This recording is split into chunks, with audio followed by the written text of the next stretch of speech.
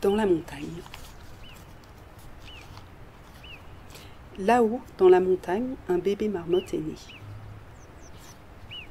Première jonquille, premier printemps. Là-haut, dans la montagne, un bébé marmotte est né. Première tétée, premier biberon, première visite, première sortie. Là-haut dans la montagne, un bébé marmotte est né. Première nuit, premier matin, premier câlin et premier livre.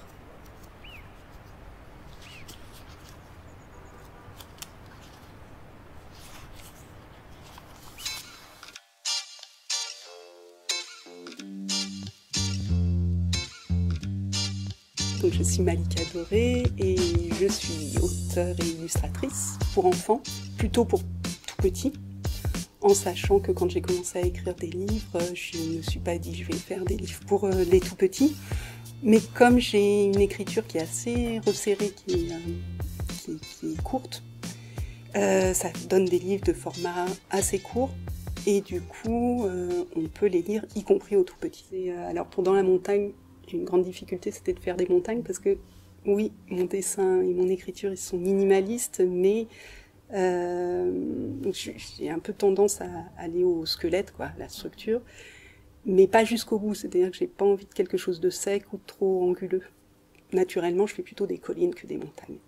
Et moi, je ne suis pas de, de l'Isère, mais mon papa était a grandi à Grenoble, et donc je connais assez bien les Alpes je dis assez bien parce que, parce que je connais pas, par exemple, les Alpes, je connaissais pas l'été. Et j'ai découvert la montagne il y a une dizaine d'années, l'été. Et donc, quand on est parisienne, qu'on découvre la montagne au début du printemps, il y a vraiment un, charme euh, et une force, une intensité à, côté de laquelle j'étais complètement passée. Quoi. Et c'est la force aussi du printemps où effectivement tout le monde, les animaux naissent au printemps. Donc voilà, c'est ça qui a porté le, texte et les images, où c'était évident pour moi qu'il fallait que je, trouve euh, dans les techniques que, que, je connais à peu près, enfin, que je choisisse celles qui ont plus d'intensité en termes de, de couleur, de chaleur.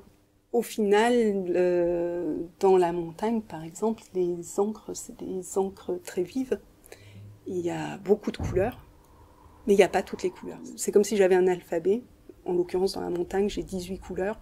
Je fais avec. Je pourrais fabriquer mes couleurs et rajouter des couleurs, mais finalement, c'est pas ça qui m'amuse le plus. Ce qui me plaît, c'est comment, à partir d'un même euh, alphabet, on arrive toujours à créer des mots nouveaux. Et donc là, en l'occurrence, c'est avec des feutres pinceaux. Ça s'utilise comme des feutres, donc c'est très facile. Il n'y a pas besoin d'installer 14 euh, pots de, de peinture, euh, on, peut s'installer pour cinq minutes et puis on referme ses feutres. Et en même temps, c'est vraiment une qualité de trait qu'on retrouve dans la, calligraphie. Donc au départ, au départ, pour mon premier livre, j'ai fait des lapins. Euh, parce que euh, je me suis dit, des lapins, c'est facile, on met des grandes oreilles et ça donne un lapin. En fait, le lapin, il a une tête de lune. Mais à partir de là, bah oui, c'est comme euh, c'est l'histoire de l'alphabet que je disais, c'est-à-dire que si les oreilles sont pointues, ça devient un chat. Si je rajoute des bois, ça devient un cerf. Et donc euh, forcément, j'arrive une fois que j'ai fait le lynx, euh, il reste plus grand monde. Et là, quand on m'a demandé de faire quelque chose en lien avec la montagne, sur le moment, j'ai dit ah non non mais moi je suis incapable de répondre aux commandes. En plus, je sais pas faire les montagnes, je sais faire que des collines. Je dis non, je laisse tomber. Et puis une demi-heure plus tard, je dis la marmotte. Et, non, et ça c'est super agréable quand on trouve un, bon ça change pas, change pas ma vie, mais c'est très agréable de trouver un animal où est-ce que ça va fonctionner encore avec cette base en tête, en, une tête en forme de lune? Qu'est-ce que je fais pour que ça devienne une marmotte? Donc on réduit les oreilles.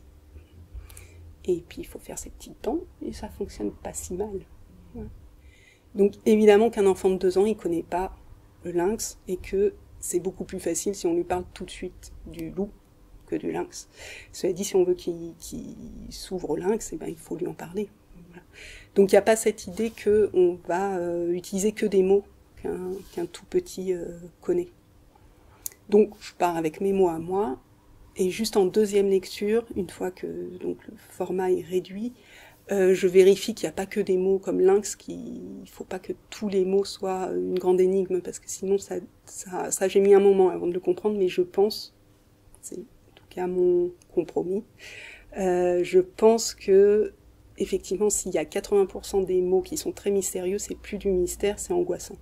Je crois que le livre, il y a vraiment un truc qui se joue dans le fait que c'est quelque chose qui est montré, on tourne la page, ça disparaît, puis s'il retourne la page, Donc avant euh, d'être un, un outil de lutte contre l'illettrisme, même si c'est ça, mais c'est un peu comme euh, la méditation. La méditation, au départ, vous méditez juste parce que vous méditez. Et puis, vous apercevez que ça vous fait du bien, mais à la limite, c'est un effet secondaire, quoi. Et donc, la lecture pour tout petit, pour moi, c'est évident, mais tout comme c'est évident que c'est super de profiter de cet âge-là pour leur faire goûter plein de choses différentes en termes d'alimentation, en termes de sport, en termes de musique. il se trouve que moi, je suis plus douée pour écrire des textes que pour jouer au football.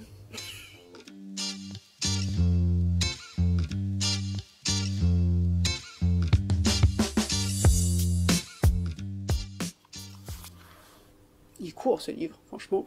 Quel escroc